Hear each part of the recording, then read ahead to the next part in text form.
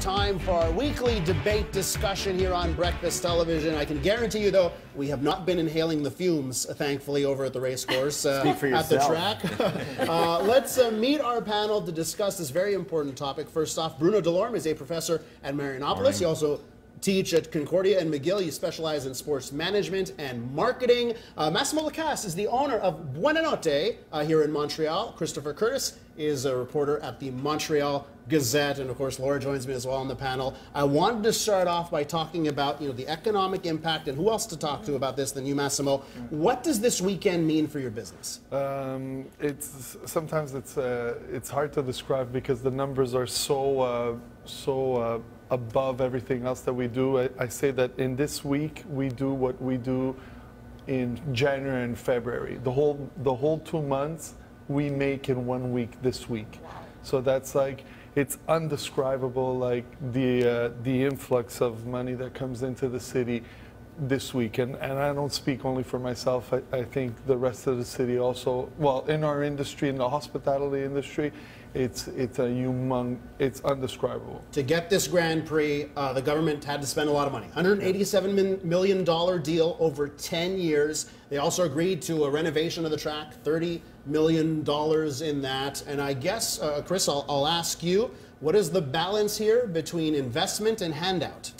Well, like, I don't want to. I don't want to begrudge someone like Massimo uh, having this amazing week because you know the, the, the municipal government regularly wreaks havoc on, on businesses with construction and what have you. Like, and I do I do definitely feel your pain, but I mean you.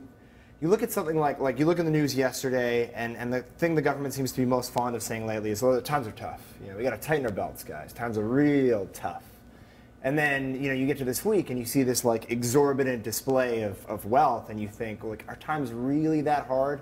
Uh, they just they just closed a mental health clinic or a mental health service at the Douglas where like they're helping suicidal teens, and you think like, where's the balance? Like, uh, times are tough, guys, but uh, these uh, these millionaires over here, they, they can they can Yeah. have their due. And I think you just hit something there for me because, you know, I, I love the Grand Prix. I think it's great for the city.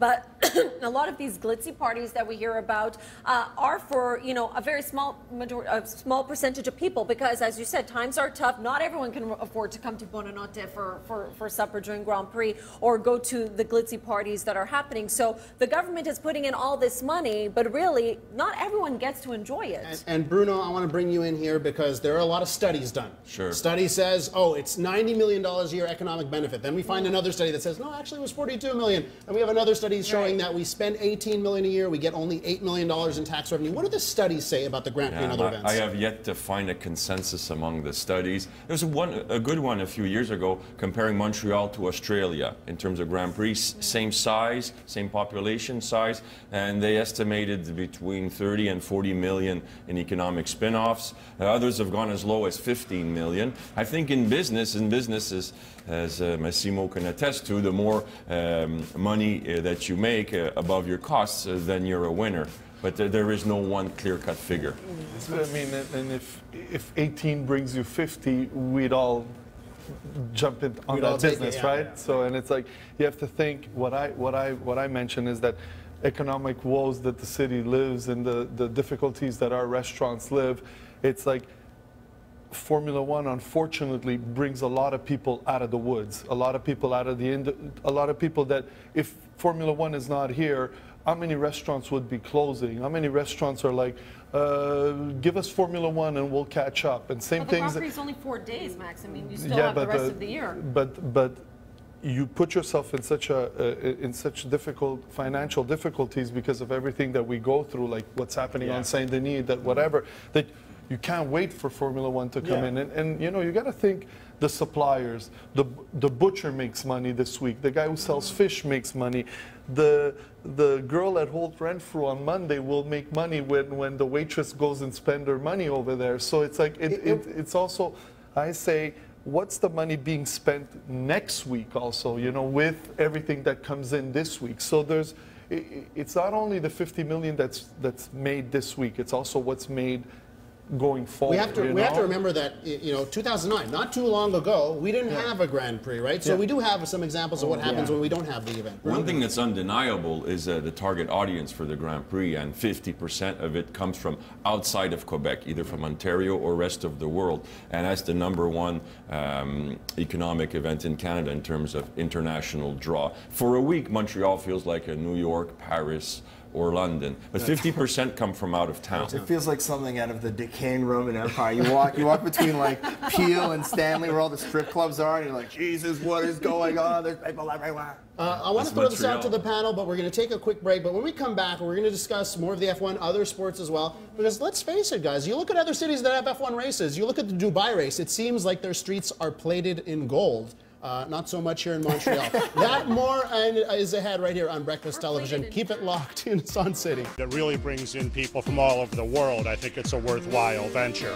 the commerce. They buy, they eat at the restaurants, like where we just had our lunch. Uh, and I think promoting, you know, sport throughout the world is a positive thing. Why not the corporations get involved in paying for that? Let the government pay for things that really matter, like education and health. A good point brought up uh, by some of the people we asked on the street about that. Of course, the Grand Prix happening this weekend. They're still looking for a title sponsor. They don't have a title sponsor. They need more corporate support. But in the meantime, they're asking for money from governments. Let's talk about, you know, we mentioned about the tourists. But there really are, there's got to be a positive impact for Montrealers, people who live here that get to sort of experience this this weekend, isn't there? Yeah, that's um, you know a lot of Montrealers uh, treat it like uh, I, I call it New Year's Eve in the middle of summer. You know, so it's like a lot of people go out or, or people. If you have somebody from out of town, what do you tell them? You gotta come Formula One weekend. It's crazy. It's amazing. You see the city at its finest. Every because everybody spruces up the restaurant, spruces up the city.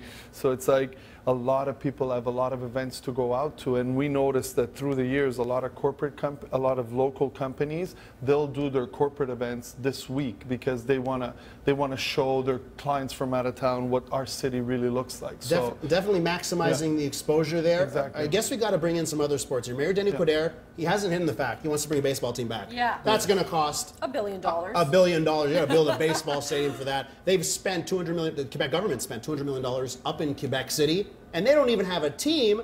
Uh, Bruno, what do you think? Is this a wise use of public funds? Yeah, I, I think the two issues are different the hockey versus the baseball issue.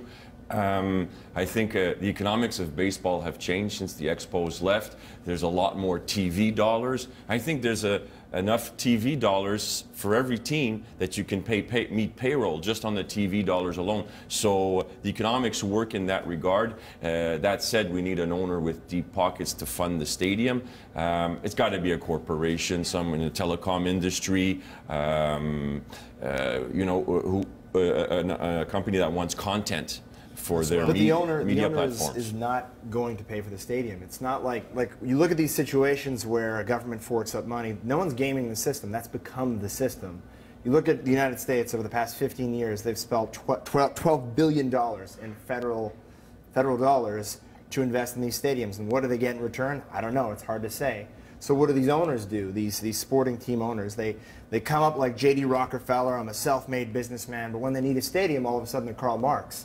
You know, like- and then when the money from the stadium comes in, they go back to being you know J.D. Rockefeller and double finger to the to the tax. Okay, so you bring up something really interesting because obviously it comes down to competing. We have to compete globally with other cities, especially in the States, who are handing out money, taxpayer money. Yeah. So at a certain point, we have to play the game too, right? You got to pay to play, right? I mean, that's what that's what it is. It's like we can't go around saying, "Oh, I went to uh, Toronto, our neighbors to the left."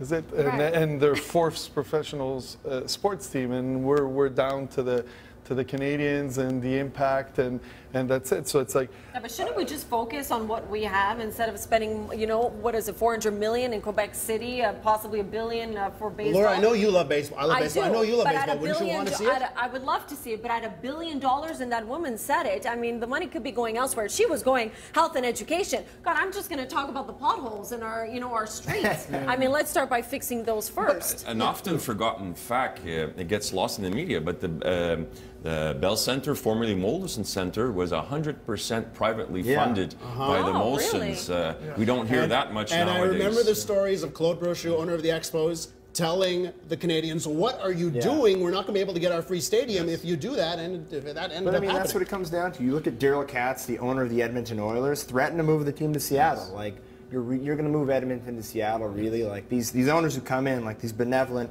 this is our team, these are our fans, we care. No, it's incredibly selfish. Let me play devil's advocate for everyone here at the panel because we spend lots of money on the arts. We throw You're tons right, of money right. on the arts, and it doesn't seem to get the same kind of flack that sports does. A lot of people say, you know what, more people enjoy sports on a daily basis than they enjoy the quote unquote arts. And uh, and the sorry, in the sports, and, and we got to know that it it brings money in, right? I mean, fifty thousand people at the Olympic Stadium or wherever we're going to end up playing baseball on, for eighty-one dates. I mean, how many hot dogs is that? How many people? How many jobs? How many parking spots are you selling? How many bus rides are you selling? But that's It's- the problem. There's no like accurate, and I think you mentioned it before, but There's But no accurate data to know exactly if our investment is getting paid back. But every time we, we talk about the les retombées, sorry, Yeah. of, of you, we always say, well, we don't know exactly, but there is money, guys. I mean, it's like, you know, the bus ticket to get to the stadium is money. You gotta, the bus driver driving, who now has is making overtime money. That's money being made. It's it's. you There's got- this uh, you know, displacement it's of like- funds. It's clear, uh, Max, you're making money this Yeah. week more than you were ever making. Um, this displacement of funds means, though, but uh, some guy in Boucherville or in Longueuil, his bar or his Toronto Yeah. might be empty this Yeah. weekend. They're spending the money at uh, Buonanotte or Jellyfish, for example. So one winner, one loser. You're, you're taking what you're taking the risk element out of business. You're, you're, you're basically telling the owner like, don't worry, we got your back. And believe me, the owner does not have your back. On a cold and windy day, you will be on the street corner with the wind blowing in your face. He won't. But I think we can all agree it's pretty nice to have the name Montreal mentioned in the same breath as Dubai As and student London. riots. Uh, guys, it has That's been a, a very spirited debate, uh, and I thank you so much for joining us. Uh, Bruno Delorme, professor at Marianopolis, uh, Chris, uh, Christopher Curtis from the Montreal Gazette, Massimo Lecas, owner of Buonanotte, and of course Laura